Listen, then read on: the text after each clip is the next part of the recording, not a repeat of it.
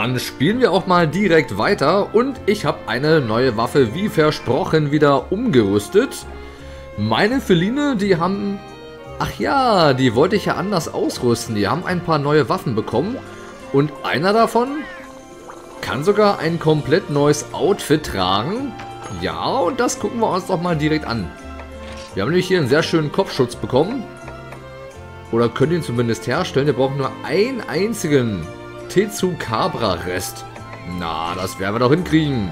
Wir tauschen direkt mal aus der Liste heraus. Tja, die Frage ist, was sollte ich dafür opfern? Ich weiß nicht, was wir am häufigsten brauchen. Da die Schuppe ganz oben stand, bin ich der Meinung, die werden wir am meisten bekommen. Also tausche ich auch die mal aus. Ja, ich hoffe, das war jetzt kein Fehler. Naja, es kann auch sein, wenn wir eine, einen bestimmten Ausrüstungsgegenstand herstellen, kriegen wir auch so einen Rest, oder? Kann das sein? Habe ich noch gar nicht getestet, aber ich glaube, das ist so. Dann werde ich es jetzt mal kurz austesten. Ich gehe mal auf Ausrüstungsteile schmieden. Ja, auf Arme. Und tatsächlich kann ich das auch schon mal craften. Ja, die Schuppe brauchen wir zweimal. Die Klaue dreimal und den Panzer haben wir auch dreimal. Krötenöl. Naja, ich sag mal, für ein bisschen wird es ausreichen. Die sind sogar schwächer, liegt aber nur daran, dass wir diese Rüstungskugeln, genau, ich habe meine Ausrüstung, die ich jetzt gerade trage, gestärkt mit dreimal Rüstungskugeln. Ich weiß, ich habe in der letzten Folge gesagt, ich wollte die mir aufsparen, weil es sehr schwer sein wird, an diese Rüstungskugeln zu kommen. Ne, Pustekuchen. Die kann man beim Händler kaufen. Nicht bei dem normalen Händler, sondern bei diesem einen Feline-Händler, der gegen die äh, Vykademie-Punkte euch bestimmte Items geben kann. Schaffen wir aber auch erst seit jetzt, wo wir im Akademie-Rang aufgestiegen sind und die 3-Sterne-Quest angehen dürfen. Hat der eine neue Auswahl bekommen und da waren diese Rüstungskugeln mit dabei. Und die sind sogar sehr, sehr günstig. Die kosten nur 100 Akademie-Punkte und da wir 30.000 haben, ey, da können wir uns die en masse leisten. Aber eine Ausrüstung können wir nicht unendlich oft mit diesen Rüstungskugeln verbessern. Geht maximal dreimal. Ich bräuchte jetzt eine Rüstungskugel plus 1. Wie ich die bekomme, ich habe keine Ahnung. Interessiert mich auch nicht. Ich bin ja eh froh, dass ich jetzt äh, meine komplette Ausrüstung so enorm stärken konnte. Ja, Wasserabwehr. Ich kann jetzt überlegen, ob ich auf Feuerabwehr setze oder auf Wasserabwehr. Vielleicht nehme ich auch von beiden was mit. Na egal, wir wollen es ja erstmal nur austesten. So, wir stellen das schon mal her. Ausrüsten? Nein. Haben wir jetzt den Rest bekommen? Ich glaube nicht. Ne, sieht nicht so aus, als ob wir jetzt hier irgendeinen Rest bekommen hätten. Na, ist ja auch scheißegal. Drauf geäpfelt wieder einmal. Wir gehen zurück zum Kameradenausrüster. So, und dann kriegen wir den richtig coolen Kopfschutz. Hier, pass mal auf. Na, sieht das nicht geil aus? Afrolog mit einem äh, Horn vorne dran. Ja, hat was. Sieht zwar ein bisschen komisch aus. Schade ist, dass wir die Ausrüstungsgegenstände unserer Verliehengefährten nicht irgendwie optisch anpassen können. Weil es gibt einige, die ich craften könnte, die aber komplett scheiße aussehen. Hier zum Beispiel. Ja, sieht irgendwie witzig aus, aber ich möchte nicht, dass mein Felin aussieht wie, äh, ja, wie ein Schwein. Also irgendwie blöd, oder? Und stellt euch vor, das wäre jetzt so ein Item, das würde euch den größten Verteidigungsboost geben. Und dann müsst ihr mit dieser Schweinemaske rumlaufen. Nach, obwohl es Katzen sind. Ah, ich weiß nicht. Also da muss man ein Freund von sein. Auch hier. Das sieht genauso blöd aus. Na, wobei, damit kann man sich noch eher anfreunden. Naja, trotzdem. Ich denke dann immer so, wie wäre ich denn wohl, wenn ich unter so einer riesengroßen dicken Maske versteckt sein würde? Oh, ich würde richtig schwitzen und atmen könnte ich auch nicht. Und genauso muss es den Katzen gehen. Nein, da tut die mir eher leid, wenn die sich in so ein Kostüm reinzwängen müssen. Na egal. So, wir... Nimm auf jeden Fall das Horn. Ja, süß. Und da haben wir schon mal einen kleinen Freak an unserer Seite. Ja, dann, was machen wir heute? Wir werden eine weitere Quest angehen und ich hoffe doch auch einen neuen, etwas größeren Boss besiegen. Im optimalen Fall sogar wieder fangen. So, ich habe auch in der Zwischenzeit gar nicht viel gemacht. Hier, schaut mal. Das, was ich gemacht habe, ist, ich habe die ganzen Orte abgegrast und einfach mal alle Leute angequatscht. Und oh, die Texte hier, die sind so was von belanglos. Also, wenn mal einer so eine richtig schöne Geschichte zu erzählen hätte, dann würde ich das vielleicht sogar noch mit aufnehmen, aber das ist alles bla bla bla bla, sammel dies, sammel das, bla bla, hier ist gefährlich, besiegt die mal, sorgt mal dafür Sicherheit. So, was machen wir? Erntetour? Ne, das mache ich dann wieder offscreen. Ah, hier haben wir schon. Ja, prädestiniert. Er jage einen Nian Kutku und zwei uralte Bären abliefern. Naja, also die Nebenquest-Belohnungen sind ja ein Witz. Dafür, dass wir schon so viele Kohle auf unserem Konto haben. Wobei, so viel haben wir, haben wir gar nicht mehr. 5000? Ich hatte doch mal 30.000. Okay. Ich müsste mal ein paar Sachen verkaufen. Aber das nimmer. Wir werden diese Quest angehen mit der Lanze. Und ich verrate auch nicht so viel, wenn ich euch sage, die Lanze und das Lanzengewehr, das sind Ausrüstungsgegenstände oder Waffen besser gesagt, mit denen spiele ich überhaupt nicht gerne, weil die dienen eher dem Schutz.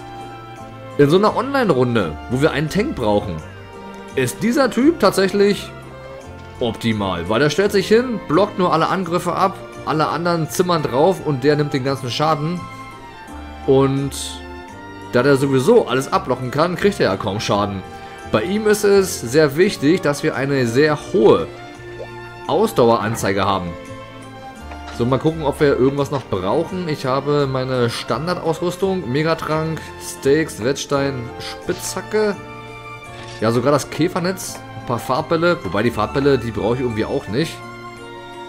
Weil bisher passiert es ja nicht so häufig, dass ein Gegner abhaut und äh, einfach mal völlig woanders auf der Karte,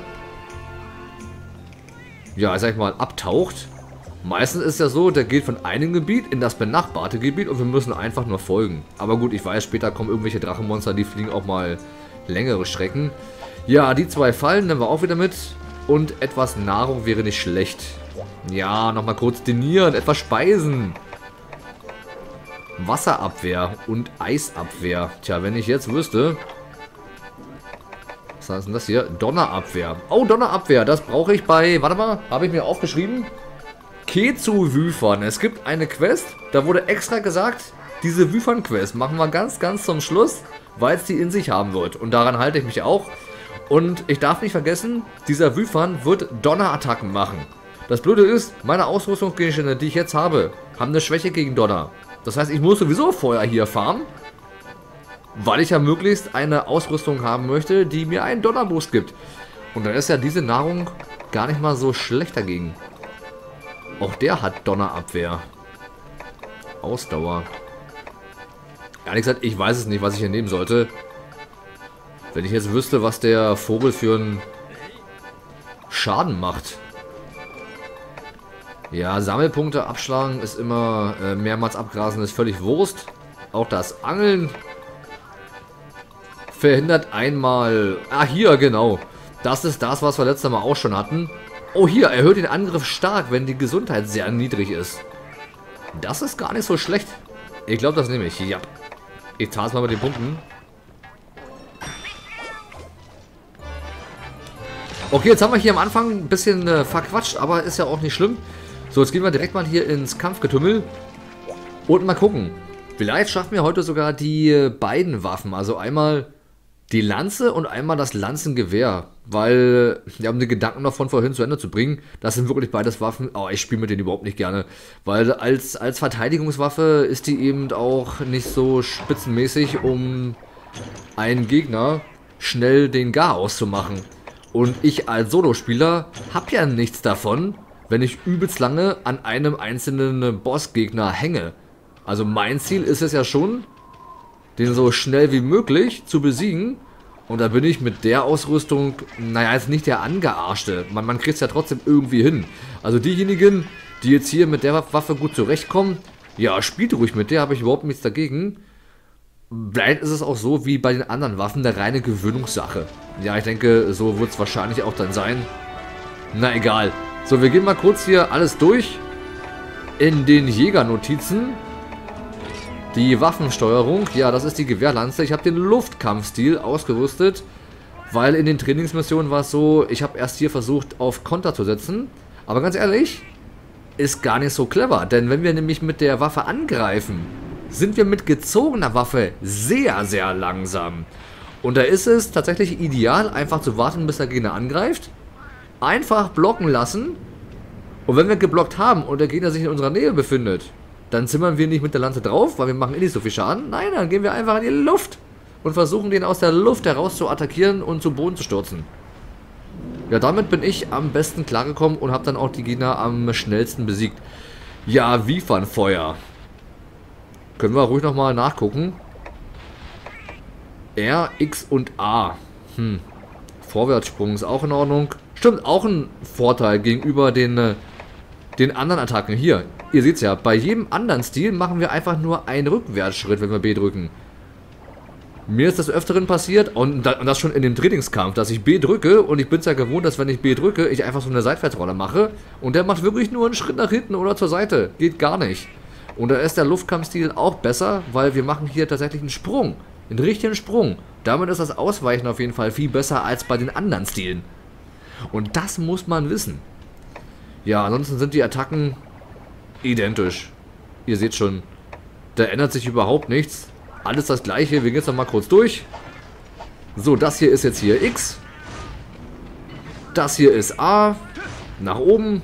Dann können wir X und A gleichzeitig drücken. Dann können wir blocken. Ja, wenn wir jetzt X und A gleichzeitig drücken, stürmt er nach vorne. Und wenn unsere Waffenschärfe auf mindestens grün ist, ja, gelb reicht schon nicht, dann durchpiercen wir den Gegner auf alle Fälle. Und schaut mal hier, wie langsam wir stiefeln. Nervig, oder? Ja, also wie gesagt, einfach nur blocken ist, denke ich, die beste Strategie. Wenn wir jetzt A drücken, laden wir einen, einen Schlag auf, aber das ist bei, bei, bei dem auch nicht so interessant. Das sollte man nicht... Naja, ich weiß nicht. Vielleicht täusche ich mich da auch. Ich meine, ich bin ja auch jetzt ein kompletter Noob, was diese Lanze angeht. Aber mir hat sie damals schon nicht gefallen. Mir gefällt sie auch hier nicht. Und deswegen äh, pfeife ich auch auf die. So, haben wir denn keine Ration bekommen? Ah, faules Fleisch haben wir einmal. Doch hier. Ja, ich sorge erstmal dafür, dass unsere Anzeige voll aufgepowert ist. Weil das Blocken verbraucht ja auch Ausdauerpunkte.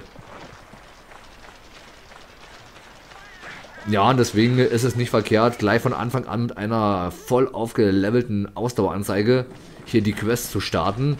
Ja, jetzt geht die Suche wieder los. Hätten wir jetzt mit dem Phylin gespielt, wüssten wir sofort, wo sich der große Boss befindet. Aber so wird wieder ein Gesuche draus. Na, wir werden ihn schon finden. Ja, und ich bin noch gespannt, wie nervig sich das dann mit der Lanze gestalten wird. Oh, da ist er. Jan Kutku.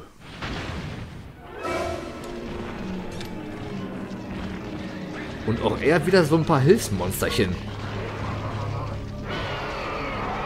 Ja, mal gucken.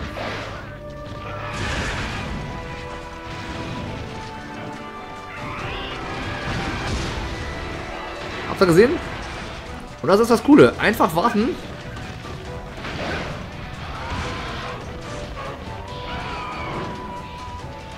So, tja, jetzt ist aber die Frage,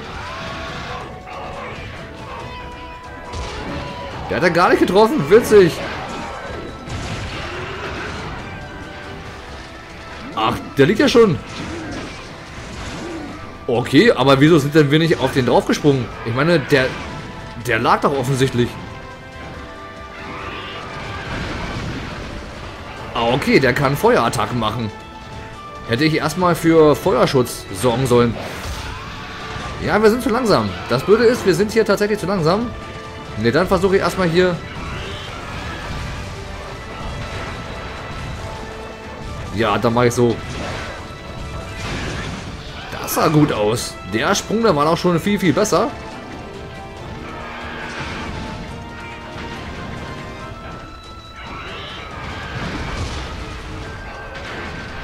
Naja, es ist ein Vorteil. Also es ist schon ein kleiner Vorteil, wenn wir hier alle Angriffe so blocken können. Aber ein riesen Nachteil ist eben wirklich die Geschwindigkeit. Also immer erst die Waffe hier wegzustecken und ihr seht's ja, dieser Vogel hier. Wir haben tatsächlich eine komplett schlechte Waffe mitgenommen, weil der ist sehr agil. Und gegen agile Gegner, hier hätte ich gerne so einen Bogen gehabt. Ja, ich denke, das macht mehr Sinn. Ein Bogen hätte uns hier sehr viel mehr geholfen. Und ich weiß auch gar nicht, warum der gar nicht so, so in die Luft springen kann. Das hat vorhin bei dem Macau viel besser geklappt. Auch mit gezogener Waffe. Okay, jetzt haben wir ihn das erste Mal erlegen können. Und ich bin gespannt. Okay, jetzt erstmal nur den R-Knopf gedrückt halten. Okay. Wir haben ihn soweit beruhigen können. Wir zimmern weiter drauf. Und ich bin auch gespannt auf unsere Spezialattacke. Ihr seht schon unten, da steht Korkenzieherstoß. In der Beschreibung stand drin, das ist eine sehr, sehr, sehr starke Angriffstechnik. Aber sie muss kommen. Diese Angriffstechnik, die muss erstmal kommen. Und es kann sein... Oh, was nun? Äh, wo ist denn der? Wo ist denn der jetzt hin? Ja, jetzt haben wir genau das Problem, was ich vorhin schon gesagt habe. Bei ihm hätte ich dann doch clevererweise erstmal einen Farbball draufhauen sollen. Ja, weil der kann jetzt überall sein. Der kann jetzt tatsächlich überall hingeflüchtet sein. Schon ein bisschen nervig. Tja, okay. Ich hoffe, er ist einfach mal in dieses große Gebiet zurückgeflüchtet. Oder? Naja, die Musik ist auf jeden Fall... Da ist er. Ja, und er rennt wie von der Tarantel gestochen. Ja, mach mal. Mach mal ruhig deine Feuerattacken. Ja, der ist zu agil. Der ist leider ein bisschen zu agil. Vielleicht sollte ich tatsächlich von unten den Kampf probieren und gar nicht aus der Luft. Und schön daneben. Und Waffe wieder wegstecken. Ja, Mist. Ich wollte eigentlich zur Seite rennen. Hat mal gar nicht funktioniert. Jetzt haben wir sehr viel Schaden genommen. Ja, wobei, viel Schaden ist ja auch übertrieben. Guck mal, der macht ja gar nicht so viel Schaden. Ja. Wow.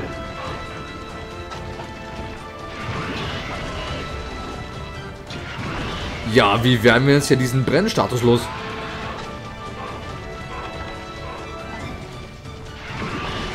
Also ich habe gehofft, dass das Rollen ausgereicht hat. Und da kommt er wieder. Da kommt er wieder angeschlippert. Ja, nee, dann, dann, dann macht man hier einfach von unten platt.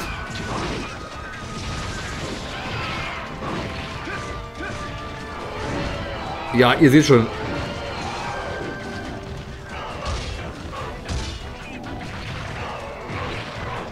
Das ist ja auch witzig.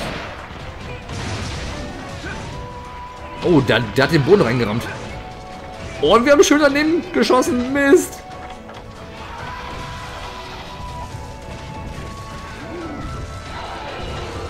Ja, was mache ich jetzt? Ich werde hier faules Fleisch hinlegen.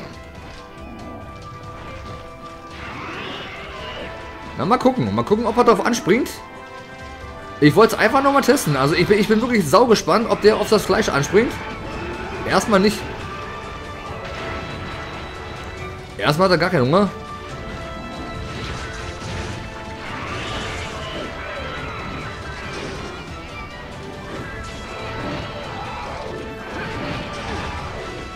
Ja, und wieder mal falsch entschieden. Und er haut schon wieder ab. Na, ich habe schon wieder vergessen, die, die Fahrpatronen drauf zu hauen.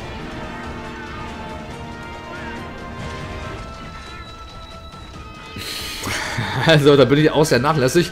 Okay, warte mal. Beim, äh, beim nächsten Mal werden wir ihn tatsächlich erstmal beschießen mit den Farbbällen. Ja, blöd. Das war schon sehr blöd. Naja, das ist aber nur durch die Kämpfe geschuldet, die wir vorher hatten. Na, wie gesagt, da hatten wir sehr, sehr einfache Gegner, die tatsächlich den äh, Standardweg immer genommen haben. Von einem Gebiet ins andere. Ja, und bei ihm wissen wir jetzt tatsächlich nicht, dadurch, dass er eben fliegt, wo er ist. Ja, und er ist tatsächlich nicht hier. Im schlimmsten Fall wäre er jetzt im Gebiet Nummer 1. Das wäre mies. Weil dann hat er sehr viel Zeit, um sich zu regenerieren und das kann ich gar nicht gebrauchen. Ja. Und ich denke, darauf wird es auch hinauslaufen. Ich kann mir nicht vorstellen, dass der jetzt hier unten irgendwo rumwuselt. Weil das wäre ja noch blöder. Und der kann ja auch in der Zeit, wo wir rumlaufen, wieder in ein anderes Gebiet zurückgehen. Eieieiei, so viel Possibilities. Na, mal gucken. Ja, aber die Lampe, ach, die, die Lampe, genau. Die Lampe zündet einfach nicht. Ne, die Lanze hier, die ist tatsächlich sehr, sehr stark vom eigenen Geschmack abhängig. Also mein trifft sie nicht. Die ist mir viel zu defensiv und ich bin auch da überhaupt nicht der geduldige Mensch, der abwartet, bis ein Angriff erstmal abgeblockt wird, um danach angreifen zu können. Nee, da habe ich echt keinen Bock. und wie es läuft. Okay, der hat uns noch nicht bemerkt. Yes, das war gut. So, wir blocken weiter. So. Wir blocken nochmal. Aber ich glaube, der Luftkampfstil ist vielleicht dann doch hier nicht die, die, die beste Wahl. Weil ihr seht schon, mit gezogener Waffe springen wir eben nicht so hoch. Okay, das ist mir in den Trainingsmissionen nicht aufgefallen. Ja, nee, dann, dann vergesst das, so wie ich das hier mache. Das macht keinen Sinn. Dann ist hier dann doch der Kontersi vielleicht der, ja, die bessere Wahl. Und ich sehe gerade, wir haben hier die Möglichkeit, unseren Spezialskill zu benutzen. Ja, die Frage ist, wann machen wir das? Jetzt vielleicht?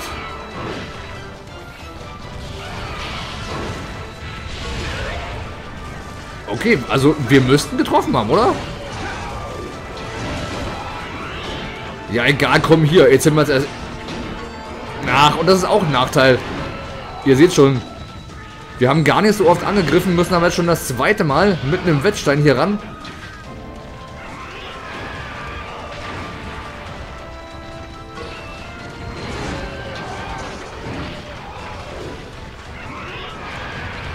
Wow, okay. Alles klar. Jetzt muss ich mich, mich, mich dann doch rein. Ach, die Lanze, ja. Ich mag die Lanze überhaupt nicht. Aber das Gute ist, dass er kein Feuer mehr spuckt.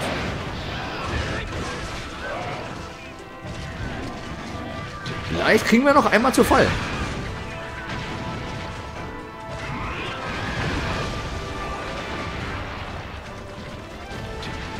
Aber ich muss sagen, so mächtig war die Attacke jetzt von der Lanze aber auch nicht, oder?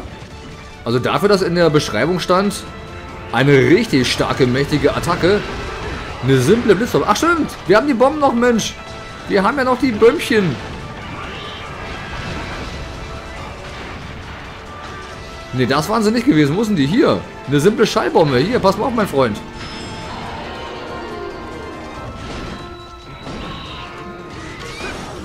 Oh, bringt gar nichts.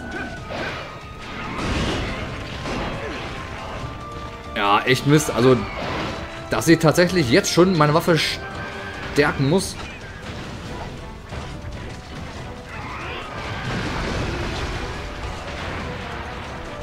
Ja, ist nicht einfach. Auf jeden Fall eine der nervigsten Waffen, die ich mir so vorstellen kann. Aber ich denke, ich spiele sie wahrscheinlich auch sehr schlecht. Ja, ich möchte nicht wissen, wie viele Leute sagen, naja, aber wieso spielst du das nicht so und so und so?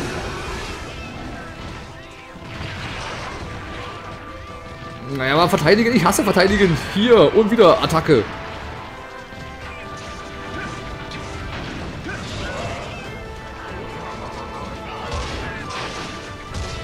Okay, das hat gereicht. Äh, wieso hatten wir uns getroffen?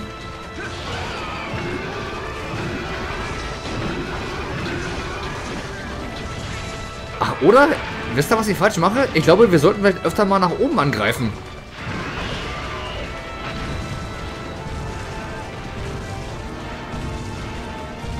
Ach, ich habe schon wieder den Farbball vergessen. Gibt's das? Gibt es das? Natürlich gibt's das. Naja, also ganz ehrlich, ähm, wenn wir jetzt den, den, den nochmal irgendwo begegnen, ich glaube nicht, dass es dann Sinn macht, dann äh, den, den Farbball auf ihn drauf zu zimmern. Weil spätestens jetzt müssen wir ihn ja wirklich fast haben. Ja, dann werde ich es aber nicht schaffen, hier die zweite Waffe auch nochmal zu zeigen. Dann wird dann äh, dieses komische Lanzengewehr eine eigene Folge sein. Weil wir haben jetzt schon fast eine halbe Stunde rumgebracht. Und erinnert euch mal an die anderen Kämpfe zuvor. Die waren ja wesentlich schneller. Ja, Mist. Jetzt sind wir wieder auf der Suche. Und vielleicht ist er auch schon jetzt am, am Futtern oder, oder schlafen. Manche Monster, die, äh, legen sich ja auch nochmal hin und versuchen ein bisschen nicht zu ratzen. Oh ne, sag jetzt nicht, der ist jetzt doch im Gebiet 1. Oder der ist jetzt hier vielleicht in sein, sein Lager geflogen. Zumindest ist das Nest, was in Gebiet 8 ist. Das könnte auch dann sein Nest sein, oder? Mal gucken. Ratzt er hier? Nee. Hier ist er auch nicht. Oder ist er in Gebiet Nummer 7? Diese ganze Gesucherei. Diese ganze Gesucherei. Nein, warum? Vor allem ein einziger Farbball. Hätte ja schon gereicht. Aber ich tröste mich mit dem Gedanken, hätten wir am Anfang den Farbball draufgehauen, dann hätten wir jetzt spätestens sowieso ihn nicht mehr verfolgen können. Da ist er, alles klar. So, jetzt. Ja, diesmal haben wir dich äh, vermerkt. Ach, krass. Und es hat ausgereicht. Also vom Gefühl her würde ich sagen, danach müssten wir noch fahren können, oder? Ich kann mir nicht vorstellen, dass er das noch überleben wird.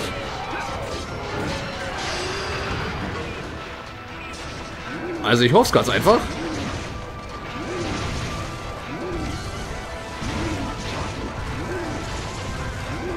Naja, ich könnte provisorisch hier einfach mal so eine Falle hinlegen.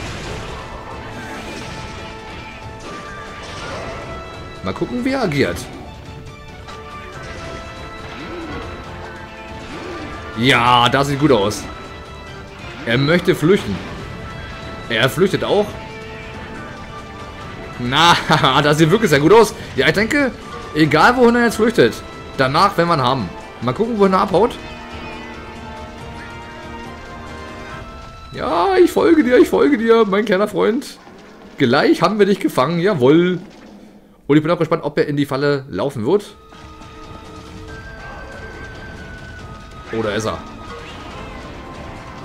Kommt er hier runter? Ja, er kommt hier runter. Dann legen wir mal hier die Falle hin. Und wir locken ihn nicht mit Nahrung, wir locken ihn einfach mit uns selbst. Komm mal hier. Komm mal ran auf den Meter. Ja, und er hat tatsächlich die Falle nicht gesehen. Ach, und damit haben wir ihn auch gefangen. Super. Also das klappt tatsächlich momentan sehr gut. Und danke hier an der Stelle nochmal für den Kommentar von der letzten Folge. Denn ich habe mich gefragt, warum ich den nicht fangen konnte. Und man muss ja wissen, dass man hier zweimal mit einer Beruhigungsbombe auf so einen Bossgegner draufzimmern muss, damit man den halt fangen kann. Habe ich nicht gewusst. Ich meine, woher willst du das auch wissen? Und vor allem, warum gerade zweimal? Warum? Macht keinen Sinn. Also wenn wir jetzt bei der, bei der ersten Bombe vielleicht so eine gewisse Prozentchance hätten, dass wir ihn fangen und das vielleicht nicht gleich beim ersten Mal funktioniert, dass wir dann nochmal eine zweite Bombe hinterherjagen müssen, okay, das macht Sinn. Aber wenn es immer zwei Bomben sind, die wir auf den werfen müssen, schon irgendwie komisch. Und er hat auch gar nicht so viele Ausbeute da gelassen. Kann das sein? Ich meine, wir jetzt hier eine Wüfernklaue, Monsterknochen. Und ganz ehrlich, normalerweise konnten wir von dem drei Sachen bekommen. Na gut, hier unten ist noch was. Flammenbeutel. Das klingt vernünftig und sehr gefährlich. Ja, also ich beschwere mich nicht. Die Ausbeute war ja trotzdem ganz gut. Aber ich finde es cool, dass das so gut funktioniert mit dem Einfangen. Ja, wir kriegen wieder ein paar Vykademie-Punkte und 17 Minuten hat es gedauert. Und Nami ist im Stufenrang wieder aufgestiegen. Sehr, sehr schön. Ja, eine Heilerin kann ich immer gebrauchen, aber ich glaube, die hat gar nicht jetzt so viel Gehalt, oder? Vielleicht wäre es besser gewesen, einen Verliehen mitzunehmen, der viel mehr draufzimmern kann. Hm. Naja, mal gucken. Aber leider habe ich keinen Zimmermann im Team. Ach ja, ja, das war's eben mit dieser Waffe und gewöhnt euch bloß nicht an die Waffe, ihr werdet sie das letzte Mal gesehen haben, weil ich halte es für sehr, sehr unwahrscheinlich, dass ich die noch einmal zeigen werde. Ja, in der nächsten Folge geht es mit der Gewehrlanze weiter. Und ich glaube, die spielt sich ein bisschen besser, weil die immerhin auch schießen kann. Und mit Schusswaffen spiele ich ja generell gerne. Also wer Final Fantasy Explorers gesehen hat, da war ja auch die Ranger-Klasse meine absolute Lieblingswaffe. Und auch klasse. Ja, war das drauf. Hauen von hinten aus sicherer Entfernung ist bei den meisten Bossgegnern nie verkehrt. Ja, was werde ich machen? Ich werde hier ein paar Erntetouren machen, so offscreen. Ja, das ist eine gute Idee. Eine Schwanzspitze voraus, klingt auch etwas pervers. Ansonsten haben wir noch irgendwo so einen Bossgegner, Wüstengourmet? Hier. Erjage einen Daimyo Hermitor. 2400. Oh, hier, 2700. Erjage einen Nibelsnarf. Wow, schaut mal diesen riesengroßen Mund an. Alles klar, da haben wir jetzt hier zwei Wüsten.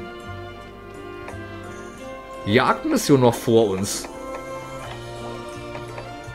Ja, interessant, interessant. Mal gucken, was haben wir hier noch? Er jage einen Lagombi. Einen Kezu. Ja, das, das ist dieser Wüfern. Den mache ich, wie gesagt, irgendwann später. Wenn ich eine gute Donnerausrüstung habe.